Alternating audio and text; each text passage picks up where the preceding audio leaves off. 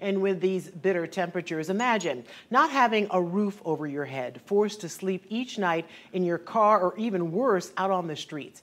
That's the reality for thousands of people across our region who are homeless with no place to call their own. Now, the impact of recent legislation signed into law last year has sparked significant debate. HB 1365 bans unauthorized camping or sleeping on public property.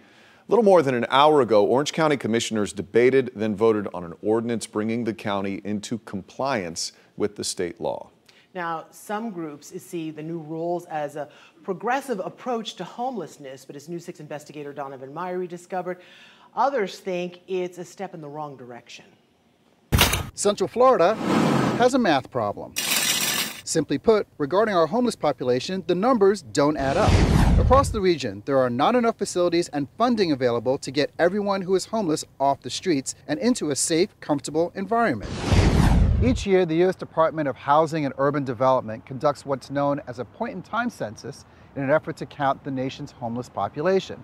For 2024, Orange, Osceola, and Seminole counties counted 2,776 people considered homeless. Some are in shelters, some live in cars, while others sleep outdoors. In that same census, a count of how many beds are available for homeless people is also tallied up, and that's where we come up short, very short. For 2024, Orange, Osceola, and Seminole counties had only 709 shelter beds, just one fourth of the number needed to accommodate all of the homeless people across the three counties. And now, to complicate things even more, new rules are delivering a one two punch that could lead to bigger problems. Here's the situation. Last October, a new law, HB 1365, also known as the Florida Homelessness Reduction Act, went into effect. The first part of the legislation banned people from sleeping or camping on public property, while also mandating local governments to provide temporary shelters that included, among other things, access to bathrooms, as well as mental health and substance abuse services.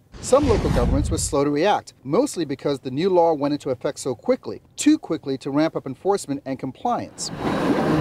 Furthermore, there were no penalties for noncompliance until now.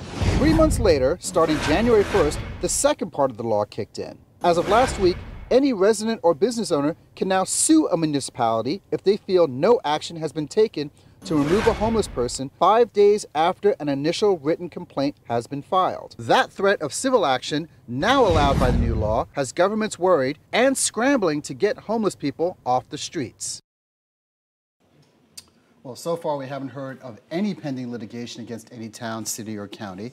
But again, this new part of the law has only been in effect for a week. And Matt and Ginger, like we've seen today with Orange County leaders, who within just the past two hours added new language to their code of ordinances, this new law is pushing communities into uncharted waters. Yeah, and you put up some great numbers there, but is it fair that there could be more out there that weren't counted? It's not like it's easy to count. Yeah. Oh, absolutely, people. absolutely. I mean, you know, the count basically has people has about um, 2,700 people, mm -hmm. 709 beds. We probably know there's a lot more, and we've seen year after year that count go up higher and higher and higher. Our next count is coming up January 28th, 29th, and 30th.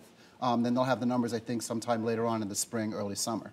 Yeah, it just seems like we keep kicking the can down the road, and by that I mean kicking that population to other counties and yeah. letting them deal and with into it, the woods and yeah. camps. Yeah, and, and, it get and and, it, and that is the really tough part about it. You know, some people look at this as this is good. You're forcing people to do something about it, but then cities are kind of going, hey, what do we do with all this? You know, what do we do with these folks? You know, and uh, um, you know, as we've spoken about, or I don't know if we've spoken about it, but this is something new for WKMG. We are actually um, partnering with other media outlets to cover this story. It is a big mm-hmm. topic. Mm -hmm. yeah. yeah. it's a tough issue. Um, we have um, 10 different, um, uh, there are 10 different media outlets uh, throughout this, uh, throughout the Central Florida region that are all getting together. You can see on the screen. Okay. Uh, WUCF, um, uh, you know, uh, some of the local papers and things.